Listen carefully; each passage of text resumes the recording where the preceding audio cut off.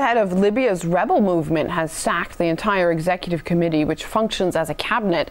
It follows the assassination of the commander of opposition forces last month. Members of the National Transitional Council, Libya's highest rebel authority, support the reshuffle, saying they hope it will stem any crisis in their ranks. Let's get more on this from Stephen Lendman, author and blogger, joining us live from Chicago. Uh, what do you think? Is there a crisis in the rebel government? Well, I think there is, Anissa. Can I make one comment? Uh, there are wars going on across Europe. You reported on, on what's going on in London. Uh, across Europe, in America, in Israel, against working people, driving millions of them into poverty. There are imperial wars going on abroad. These are Obama's wars Iraq, Afghanistan, Yemen, Somalia, and Libya, the topic today. The Libya war is extremely ugly. Indeed, the rebel camp is in disarray. The executive committee was disbanded. There were unconfirmed reports that the rebels were in such disarray that they were literally contesting among each other, and the rebel, the uh, uh, transitional council leader Jibril fled to Egypt for his safety. There's no confirmation of that, so I certainly can't say. Uh, some people call it a stalemate. Others say NATO was lost. I've written that NATO was lost. Uh, there's no possible way NATO is going to win this war militarily, but they certainly can win it by imposing extreme hardships on, on the Libyan people.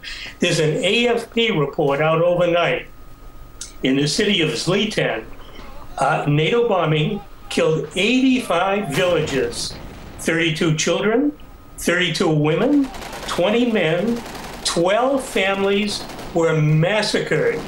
NATO claims we're not targeting civilians, we're not killing civilians. They admitted one quote unquote mistake. NATO is targeting civilians. That is part of the strategy overnight or in the last 24 hours, NATO knocked out power facilities in Tripoli.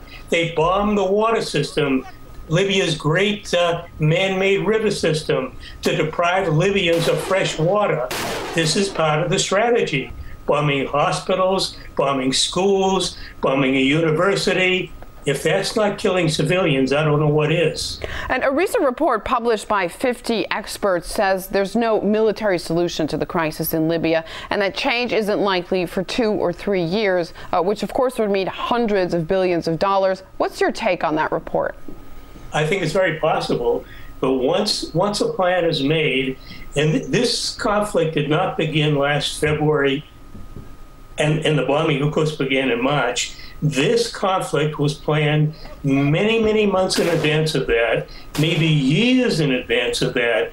And once, once there were many plans made that sit on the shelf gathering dust and they're never implemented. There've been talks about wars against Iran for years. I know there are plans that have been made, but nothing has ever happened. Maybe nothing ever will happen. But once a campaign begins, and this campaign began last winter, and then the bombings that began March 19th 15th. Uh, NATO, meaning Washington, is in it to win. They may lose the first round. I honestly, I honestly see this playing out, and I have no way of knowing. Like the Balkan Wars of the 1990s, they went on throughout the whole decade, uh, didn't succeed until finally in 1999, the horrendous war that went on, I think, for 72 days against uh, Serbia and uh, and Kosovo, literally destroyed the ability of Serbia, especially Belgrade and other Serbian cities, to function, destroyed the entire infrastructure. I see this going on in Libya right now in Gaddafi held territory. NATO may not win this round. They may pull back. They may go through so called negotiations, but they will come back and they will do more until they prevail. Probably they will in the end, but the initial round, I think they've lost. All right, Stephen Lendman, author and blogger from the Center for Research uh, on Globalization, on the line with us via broadband from Chicago. Thank you very much for that.